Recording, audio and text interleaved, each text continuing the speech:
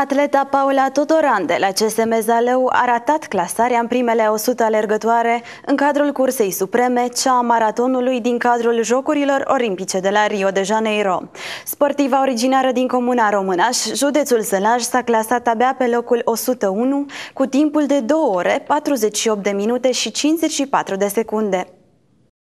Cea mai importantă competiție sportivă din lume este în plină desfășurare. Ediția din acest an a Jocurilor Olimpice de la Rio de Janeiro a debutat pe 5 august, iar în cea de-a 10-a zi a întrecerilor au intrat în concurs și singurele sportive legitimate la un club din județul Sălaj. Paula Claudia Todoran și Daniela Elena Cârlan, ambele de la Clubul Sportiv Municipal Zalău, au luat duminică startul în cursă de maraton, probă ce se întinde pe distanța 42 de kilometri și 195 de metri. Din păcate pentru sportul românesc, doar una din cele două atlete a reușit să termine cea mai istovitoare cursă din cadrul Jocurilor Olimpice. Dacă Daniela Cârlean s-a oprit înainte de a ajunge la borna kilometrului cu numărul 15, evoluția Paulei Todoran a fost ceva mai bună, dar din păcate atleta nu a reușit să obțină o clasare așa cum și-ar fi dorit. Paula era în grafic la mijlocul cursei și chiar și la kilometrul 30 era pe un tempo care îi permitea să își realizeze un nou record personal pe distanța maratonului. Căldura și umiditatea existente la Rio au reușit să-și pună în ultima parte a cursei amprenta asupra evoluției sportivei zălăoane, iar pe final de cursă, tempoul Paulei a devenit tot mai scăzut, astfel că în momentul trecerii liniei de sosire, cronometru indica timpul de 2 ore, 48 de minute și 54 de secunde. O performanță destul de modestă în comparație cu alte curse reușite de atleta clubului zălăoan. În ciuda evoluției mai puțin bune a celor două atlete la Rio, calificarea Paulei Todoran și a Danielei Cârlan la Jocurile Olimpice reprezintă o mare performanță pentru sportul sălăjan și fetele noastre merită toate felicitările pentru faptul că ne-au reprezentat la o competiție la care puțini sportivi sălăjeni au reușit până acum să ajungă.